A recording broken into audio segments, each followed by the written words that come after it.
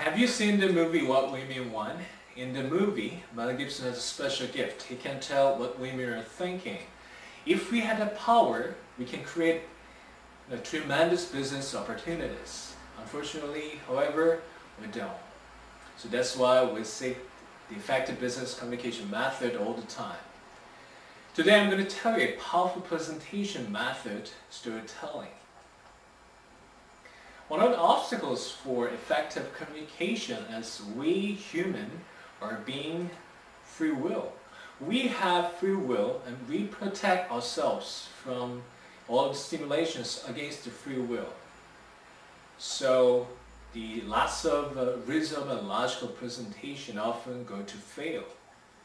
We have to more focus on the unconsciousness or emotion of the others because there's no a little protection there.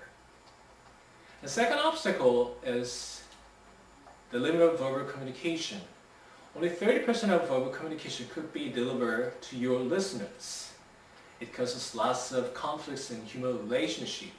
I said this one and other people understood that one. So we need to use, and we need to do presentation using our six senses. Not only the ears, but eyes, nose, taste, feelings, even your aura, your spirit. So in order to